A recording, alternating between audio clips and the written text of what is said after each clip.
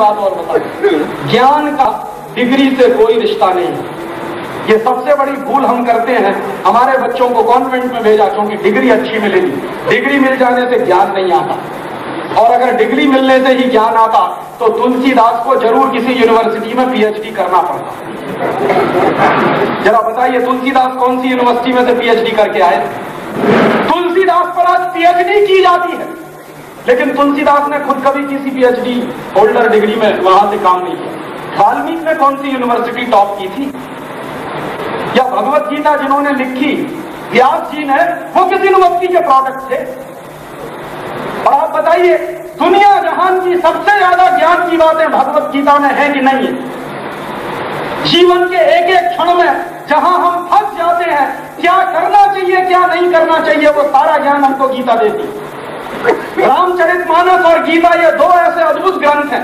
रामचरित मानस हमको ये सिखाती है हमेशा कि जीवन में क्या क्या करना चाहिए। और गीता ये बताती है कि क्या क्या नहीं करना चाहिए। इतना बड़ा ज्ञान जो पुस्तकें देती हो, वो किसी डिग्री होल्डर की लिखी हुई पुस्तकें नहीं। और दुर्भाग्य से हिंदुस्तान में इतने डिग्री होल्डर पैदा हो रहे हैं, एक दूसरी महाभारत कोई क्यों नहीं लिख देता आज? या दूसरी रामायण क्यों नहीं लिखी जाती इस देश में?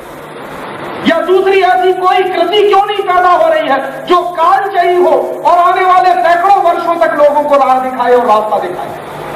आज तो बड़े बड़े टॉपर्स हैं यूनिवर्सिटी टॉपर होने से यूनिवर्सिटी की डिग्री मिलने से कॉलेज की डिग्री मिलने से ज्ञान नहीं आता।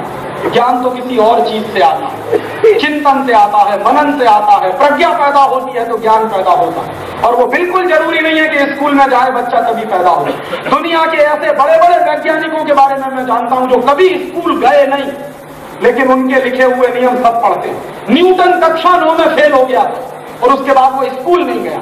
लेकिन न्यूटन की बनाई हुई तमाम चीज़ें दुनिया भर के लोग पढ़ते आइंस्टाइन गया नहीं स्कूल फेल हो गया था। उसके बाद स्कूल जाना बंद कर दिया।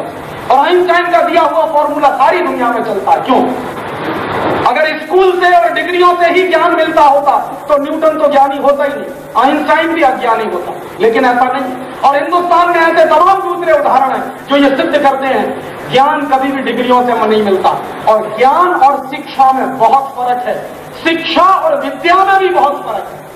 हम लोग हमेशा ये फ़र्क भूल जाते हैं।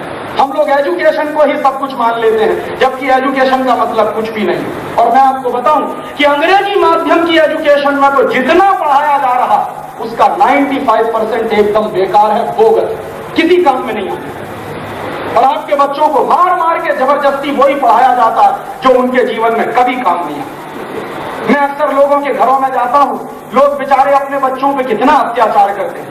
बेटा, अंकल आए हैं, जरा कविता तो सुनाओ। शुरू हो जाता।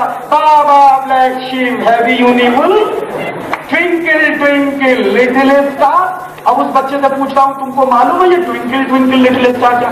नहीं अंकल, मुझको नहीं मालूम। तो काहे को रटवा दिया उसको ट्विंकल ट्विंकल लिटिल स्टार काहे को रटवा दिया उसको बाबा ब्लैक शीप उसको मालूम नहीं कि इसका मतलब क्या। लेकिन बेचारा रटे हुए सुना चला जा रहा पोपट की तरह से तोते की तरह। आप अपने बच्चों को ज्ञानी नहीं बना रहे बल्कि उनको गधा बना। गधा क्या होता है? कभी अपने दिमाग से नहीं सोचता। मालिक जो लादता चला जाता है, लादता चला जाता है, उसी को लेता हुआ चुपचाप बेचारा चलता जाता है। आप भी बच्चों के ऊपर जो बस्ता, लादते चले जा रहे हैं, लादते चले जा रहे हैं, लादते चले जा रहे हैं। बच्चों का वज़न अब बस्ते के वज़न से बहुत कम है, बस्ते का वज़न दो गुना ज़्यादा। पता नहीं क्या करने वाले हैं आप अपने बच्चों ऐसे नरक में आपने ढकेल दिया है। उन बच्चों के दिल की आप स्थिति आप नहीं समझ सकते। मैं समझ सकता हूँ क्योंकि मैं उस पीड़ा से गुजर चुका हूँ। इसलिए मुझे मालूम है क्या तकलीफ़ होती है, क्या दर्द होता है। आपकी झूठी शान और आपकी झूठी प्रतिष्ठा को बनाए रखने में बच्चे को क्या क्या बर्बाद करना पड़ता है अपने जीवन में? और आजकल वो अंग्रेजियत के स्कूल तो ऐसे स्कूल बन गए हैं, बिल्कुल बच्चों को जैसे बकरे को हलाल किया जाता है ना, वैसे हलाल करते हैं। होमवर्क दे दो होमवर्क दे दो होमवर्क दे दो। और उस होमवर्क को कराने के लिए फिर आपको ट्यूशन रखवाना पड़ता है अपने बच्चों पर और वो ट्यूशन वाला और आपका बच्चा क्या पढ़ता है आपको मालूम ही नहीं। मेरी माँ को मालूम नहीं होता था कि उसका बेटा क्या पढ़ा। क्यों नहीं मालूम? क्योंकि अंग्रेज़ी में पढ़ता अगर मातृभाषा में पढ़ता होता तो मेरी माँ जानती कि मेरा बेटा क्या पढ़ रहा आपको अपने बच्चे के बारे में मालूम नहीं है कि आपका बच्चा क्या पढ़ रहा है, क्योंकि अंग्रेज़ी में पढ़ रहा है। और जिस दिन माँ और बेटे का ये रिश्ता खत्म हो जाता और उसके बीच में कोई तीसरा आ जाता, उसी दिन बच्चे का सत्यानाश शुरू हो जाता। दुनिया के सारे मनोवैज्ञानिक ये कहते हैं कि माँ से बड़ा गुरु बच्चे का कोई नहीं होता, और अंग्रेज़ी का एजुकेशन सिस्टम माँ और बच्चे के बीच में दीवार बन के खड़ा होता। इसलिए